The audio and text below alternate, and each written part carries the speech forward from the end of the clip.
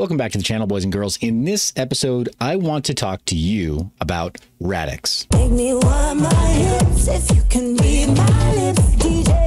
no, the other Radix.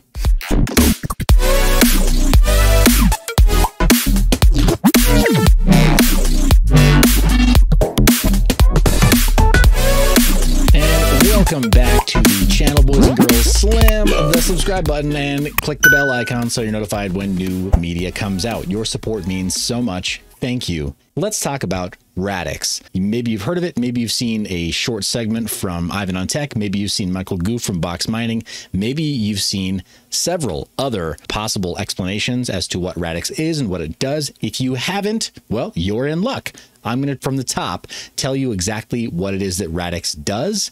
Uh, not exactly how, because that would be such a deep dive that it would take us three hours minimum, and you'd probably wind up with more questions than with answers. Suffice it to say that they have documentation, and I'm very confident that what they promise to deliver, they can deliver. And they contacted me to do a paid review of their project and let you know that their Olympia mainnet is launching in exactly three weeks from today. Yes, from the date of publication of this video, it's three weeks before their mainnet goes live. This is their website.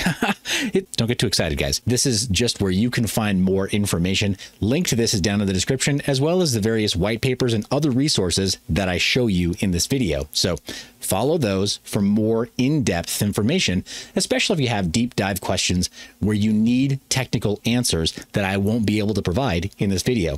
But let's talk about the basics of what Radix is. First off, it's a blockchain. Rather, it's not a blockchain. It's a layer one protocol.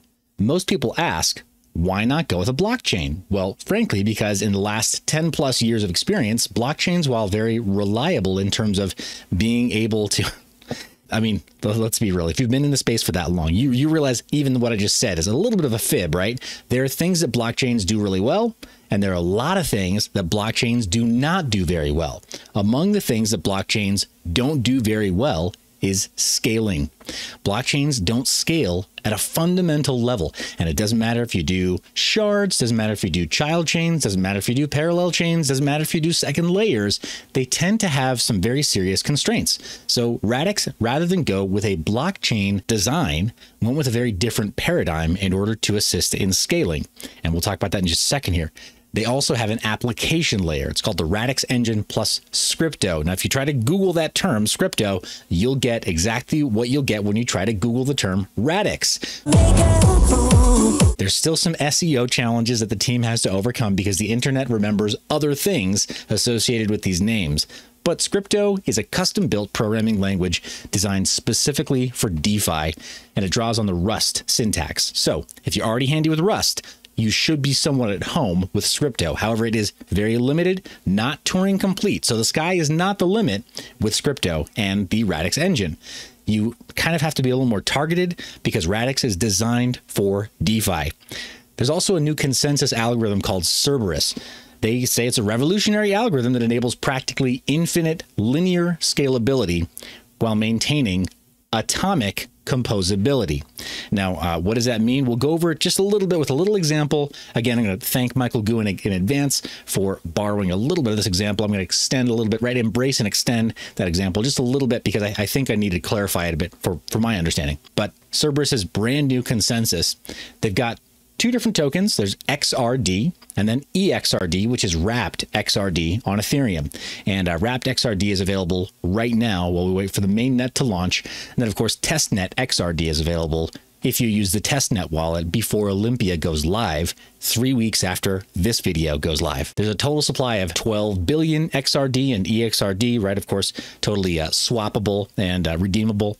And then a maximum supply of 24 billion, which won't be reached for at least 40 years based on their emission schedule. as far as staking, Radix uses delegated proof of stake. Should sound familiar because it's already been used in the wild and it's already been proven to work well enough that it will secure their network. 300 million XRD per year is awarded to stakers for securing the network. And that, again, will take 40 years minimum to be able to move out to the maximum supply. Transaction fees will always be tiny, no matter how many transactions a network is processing, and transaction fees are 100% burned, which decreases the total supply. And I'll add, also decreases the incentive for any kind of interference like we see on Ethereum with MEV. If you followed my channel and you've seen some of the interviews that we've done, then you know that's an issue that's near and dear to my heart, and it's something that's fundamentally broken with Ethereum as of right now in July 2021. That is a thing of the past when looking at Radix. What problem is Radix actually solving, though? I know that's the big question that you have. DeFi faces a number of fundamental challenges that have to be overcome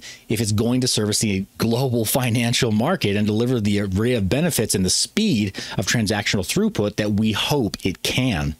Some of those problems are inefficient and insecure frameworks for development, and that slows innovation and reduces competition, can increase risks for users too, because of some of the weird uh, frameworks that are Turing complete and don't have appropriate boundaries, right? When you allow smart contracts to do things that maybe they shouldn't do within DeFi, well, there are going to be script kiddies that come into the space and want to write some kind of uh, AMM or some kind of other boilerplate code that they pick up from somewhere else. They just copy and paste it and and are not careful, and that causes problems. Sometimes even the larger auditing companies like CertiK, they miss some of these problems. And we're seeing this with various projects in DeFi that are going mainnet now.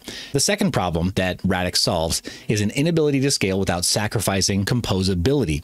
That prevents DeFi from being open and accessible. Now, composability. This is a new vocabulary word for a lot of us. We have to get used to this. If you're wondering what that is, we'll touch on that in just a moment, okay? So thanks for your patience. And the third problem it solves is a lack of direct incentive for developers, which further slows innovation, adoption, and growth in the industry. Now, what do we mean by direct incentives for developers? We mean that, for example, if you want to learn Solidity, there's no direct incentive for you learning Solidity, even if there are jobs out there for Solidity developers, while you are ramping up and creating little boilerplate code packages and smart contracts, you kind of have to back pocket those or put them into your own private repository and wait until they maybe become useful down the line. There's no way to capitalize on that right away.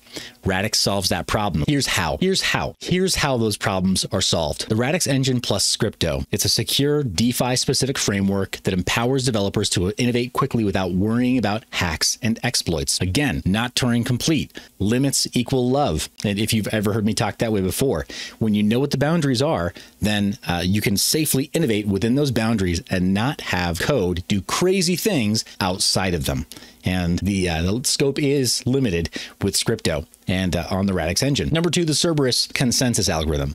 It enables secure, decentralized transactions on an unlimited scale. That means they can scale without friction to serve the needs of an entire global financial market and at some point beyond, right? We'll see. If Elon Musk gets his wish and humanity lives on the, on Mars, then we may have to extend blockchain and DeFi all the way out to an interplanetary system with that uh, that really great composability and that really great infinite scalability. Cerberus is clearly architected to accommodate that in a way that other blockchains don't. And number three, Radix Blueprint Library. This is an on ledger royalty that pays developers every time their code is used, incentivizing a growing library of robust, reusable code. Think of this almost as user submitted Lambda functions plus NFTs. And now I realize these aren't actual Lambda functions, so don't don't kill me in the comments here. But what I mean to say is packages of code that we know work and that already run on the Radix engine without any additional intervention. They already run on Radix. So it's serverless in that way. And now the economic model of NFTs where royalties are paid out to the developer that created that function or created that block of code. Kind of cool, right? Would be great if other DeFi and smart contract platforms followed the lead of Radix. Pretty revolutionary. And hopefully the best developers jump on board. So why would this be exciting to people in the blockchain space?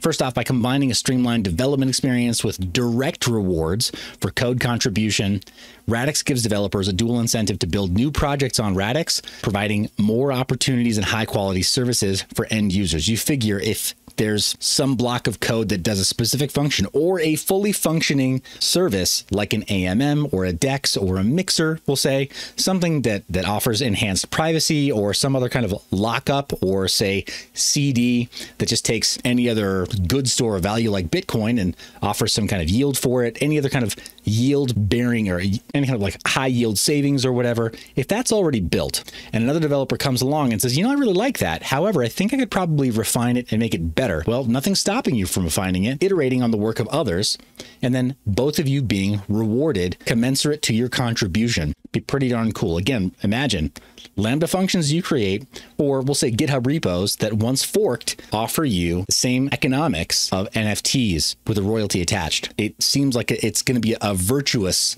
cycle, right? Of giving, of forking, of contributions and attribution back, right? Appropriate licensing and respect for people's work. It seems like it, it is designed to help people succeed together. With Cerberus, Radix is the first DeFi, DeFi platform to solve the blockchain quadrilemma, we'll call it. It's not just a trilemma, but the trade off between decentralization, scalability, security, and atomic composability. This is one of those unknown unknowns that DeFi started with and smart contract platforms like Ethereum started with years ago. The issue of atomic composability. We just didn't know, didn't have enough experience yet. Some people saw this coming, right? That's one measure of genius is being able to nail a target that others can't even see.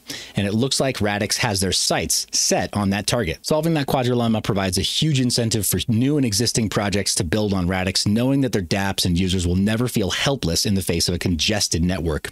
And then with those combined incentive mechanisms driving growth for the Radix ecosystem, Radix will quickly become the obvious choice for DeFi as decentralized offerings continue to capture more and more of the $100 trillion plus global financial market. Now, that is their vision, is that it captures the attention of developers. And based on what they're creating, even just in terms of the Radix Blueprint library, I think they may be onto something when you attract developers with the right incentives, you tend to get really cool stuff built on your platform. And you've heard me talk about on my show how the words Ethereum and killer haven't been used together in the same sentence for a little while now. And I don't want to use that here. I don't think that's appropriate, but I do think that in terms of having a platform that extends and embraces and extends the functionality of all existing blockchains right now, Radix is gearing up to get a lot of goodwill from even Bitcoin maximalists. You'll see their uh, their endorsement on Twitter. Okay, so let's talk about the composability issue. And here's how I would frame composability. I would start by saying this is the example that was used by Michael and offered to him by the Radix team. Let's pretend like this is a bus. And this is a food bus that has the job of delivering pizza to people around the city. And we'll go ahead and put this guy here and this guy over, this guy over here, and this guy over here, and one more person uh, over here. So we got actually five there now. Composability is the question of on networks like Ethereum, it only handles so many transactions per second. So one need is served, and then another need is served, and then another need is served, and then another transaction is pushed through. Because of the way gas works, this is a uh, this is a marketplace where transactions can be reordered. So if it is more advantageous to instead of starting with that person, if this person pays more for their gas fee, they're going to take priority, and the order can be totally rearranged depending on gas fees that are paid. And this can all be restructured. You heard me mention earlier on that miner extracted value further complicates this problem, where it's kind of a misnomer, but I don't want to get too deep in the weeds there. This may solve itself over time and not strictly related to, to Radix. But this whole mess of figuring out how to order these transactions becomes a lot more complicated when you consider that automated market makers and then other uh, other dApp providers in the Ethereum ecosystem can take advantage of and game that system of miner extracted value and restructure some of these transactions based on the fees that are being paid so that they can siphon off some of those additional fees that are being paid out in the block reward it's kind of a bad thing all around. Let's keep all these other actors in place, take away that order of how they're being served, and talk a little bit about the, the difference here uh, between that and there being, say, a system, a system of small drones. And this system, there we go. These look really fast. Looks almost like a, a tiny little missile, right? And this system of small drones make this as, as sus as possible. There we go. Looks like looks like bullets in a magazine. This system of drones, consider this like scaling solutions, shards other chains. And at this point, the more of these you have, the more you can do in parallel. But the issue becomes that each one of these shards is kind of only good for one thing, and that is whatever they were built to do. So if the types of transactions that everybody here wants to do are different in nature or there's some overlap between them, you might still need to order these transactions in such a way that, well, some of these messengers right here don't work very well. So scaling becomes constrained by those new networks, those second layer solutions, or those child chains or parallel chains. If they don't scale up to transact as many transactions as you need for, say, just DeFi, which is a pretty big market, pretty big need, then you still fall short. And being able to create additional chains doesn't necessarily help those chains talk across to each other. That's the composability problem. Is composing a transaction on one chain or one network and having it properly translate to another so that there's settlement and finality between the two of them uh, without slowing down both networks by wasting a bunch of resources just to copy records from one to the other. I'm oversimplifying it there, but I hope that that helps. So yeah, the delivery guy, the delivery problem. The Olympia testnet wallet can be downloaded by going to betanet-wallet.radixdlt.com and a link is in the description. I hope that helps you understand the Radix network just a little bit better. Be sure to hit the links that you see down in the description so that you understand it at a deeper level and have all of your questions answered. If you have additional questions about Radix you'd like me to answer on this channel, please leave them down in the comment section. Guys, you're the reason I make this media. I love your face. Remember to stay private and mind your biz. Thank you so much for watching all the way to the end of the video. If you want to be notified of videos like this in the future, first off, click subscribe, press the bell icon. Additionally, you can sign up for the Mind Your Biz email newsletter. That'll give you exclusive access to certain freebies, notifications for deals within the cryptocurrency mining space, as well as some of our flash sales for merchandise, which you can buy with cryptocurrency. That's right. It's the only cryptocurrency merch that you can buy with cryptocurrency. We practice what we preach. As always, thank you so much for watching. You're the reason I make this media. I love your face, and I will see you in the next one.